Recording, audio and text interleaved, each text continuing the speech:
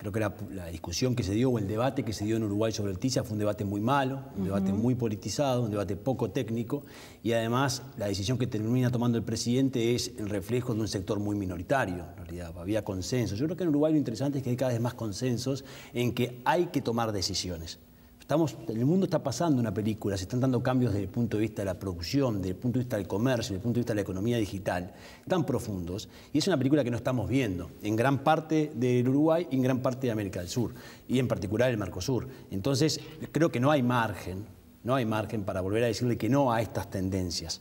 Y además, si se sigue sosteniendo esta realidad, que ya se empiezan a visualizar cambios, porque obviamente la política de Macri respecto a estos temas empieza a cambiar. Lo que puede ocurrir en Brasil, más allá del deterioro institucional que nadie desea, también puede favorecer un cambio en estos términos. es esperable que Mercosur reaccione, porque si no reacciona, las consecuencias pueden ser muy fuertes. En lo que hablaba María Lores de la cohesión del bloque, un bloque que tiene problemas desde, ha cumplido 25 años, sigue teniendo problemas muy profundos y además en particular de cómo reaccionamos frente a las tendencias internacionales. Las decisiones que no se toman hoy van a afectar al, al futuro de nuestro desarrollo económico, no cabe la menor duda.